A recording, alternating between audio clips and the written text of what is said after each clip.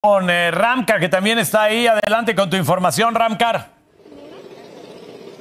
¿Qué tal Esteban? Nos encontramos exactamente en la estación San Joaquín, donde pues es el mismo problemática, el mismo caos en usuarios del metro de la línea 7 que no funciona. Podrás observar en las imágenes de mi compañero Guillermo Carrillo como decenas, centenas de usuarios que utilizan este transporte público se ven afectados debido a esta avería que presenta el metro de la línea 7. Podrás observar que hay algunas patrullas de la Secretaría de Seguridad Ciudadana está dando el apoyo pues a los usuarios, sin embargo, no es suficiente los usuarios se encuentran aquí afectados. Muy buenos días, estamos vivos para además resulta afectado por ese falla, de servicio. Terriblemente. ¿Cómo les afecta? Pues este, tengo que llegar a mis actividades y estoy varado aquí por esta situación. ¿Le avisaron, le dijeron algo en la situación? No, no, no, no sabía absolutamente nada de este evento. ¿Les dijeron si hay algún servicio alterno?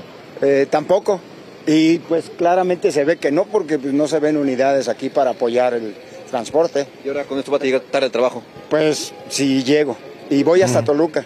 De hecho, voy a observatorio y de ahí a Toluca. Entonces esto complica. Estoy analizando ahorita alguna opción de irme al Toreo y de ahí salen otros camiones hacia Toluca. Entonces probablemente eso haga. ¿Cuál es su nombre? Bernardo. Que llegue bien, señor Bernardo, que esté bien. Muchas gracias. Gracias.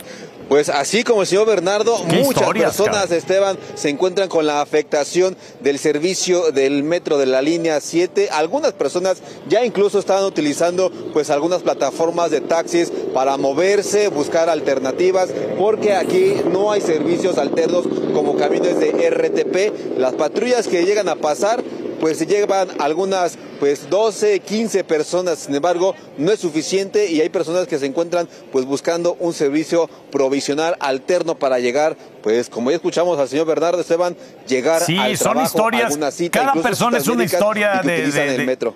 una historia pues truncada de trabajo, de movilidad y, de frustración, porque al final eh, tú sales con tus planes para hacer tus actividades del día y, de repente no hay ningún servicio, no hay ninguna información.